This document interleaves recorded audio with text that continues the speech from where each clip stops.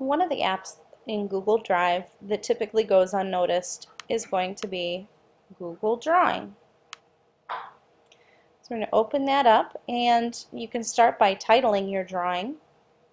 There's many different ways to use this. This can be used to create an image for your website or blog, a nice header. Um, you can also create um, an icon of some sort that you'd like the students to refer to with on your website. In addition, your students can actually use this to create a mind map um, or to create maybe a poster. And there's some different things that you can do here. So the first thing I like to do is to create a background. And by right clicking this comes up and you can customize your background with an image or well actually not an image. We've got just different um, colors here on this one. And we can also just do a basic color.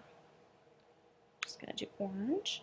And we can also um, edit with images and text box or lines, and that's also available up here. Word art is very popular because then you can um, type in what you'd like to say and enter and it'll come up just like this you can rotate it. You can make it center on the page.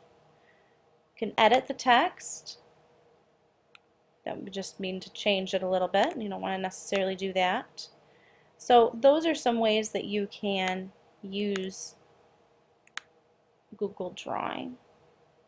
Also, if you'd like to, you can also download it to your computer, publish it to the web, can email as an attachment um, and it also gives you the option just like the other ones to see revision history so if someone else is adding to something that might be helpful as well.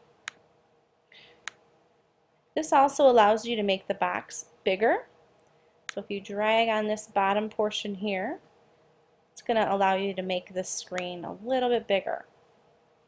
So go ahead and explore within in drawing and I invite you to share with us um, how you would use it in your classroom and maybe some different tips and tools that you found within exploring it.